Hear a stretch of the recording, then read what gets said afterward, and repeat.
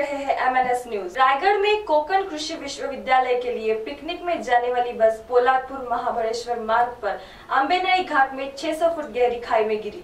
इस घटना में 32 कर्मचारियों की घटना स्थल पर ही मौत हो गई। इस बस में सफ़र कर रहे प्रकाश सावंत देसाई, ये इकलौते शख्स थे जो ज़िंदा बच गए। उन्होंने ही खाई से बाहर आकर इस पूरी घटना की जानकारी विश्वविद्यालय को दी।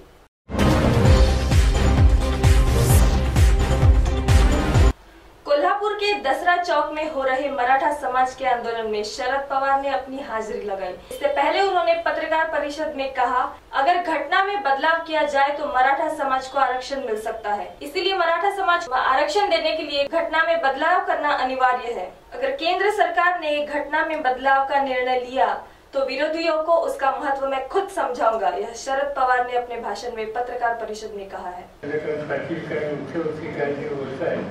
ते आमच्या दृष्टीनं सोयीच आहे वर्ष सरावाने या सगळ्या बोलण्यातून आमचे बरेचसे प्रश्न सुकर होतील त्यामुळे आम्ही बाजूला विजयाच्या मुद्द्याचा आग्रह आम्ही धरत नाही ते त्यांनी धरावं आणि शिवसेनेच्या मला वाटतं की मोठं हातामध्ये किंवा कशामध्ये तरी।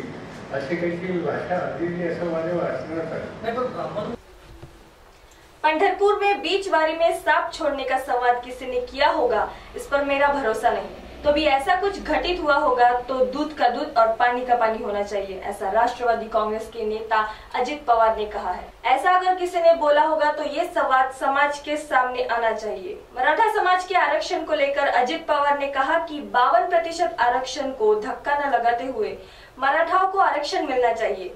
अब सरकार मराठा समाज का अंत ना देखे, ऐसा अजित पवार ने पुणे में एक पत्रकार परिषद में कहा है? त्यांच्या मागण्या पूर्ण होण्याच्या करता आतापर्यंत बावन्न टक्के आरक्षण मिळालेल्या कुठल्याही घटकाला धक्का न लावता ही का तातडीनं पावलं उचलली गेली पाहिजेत.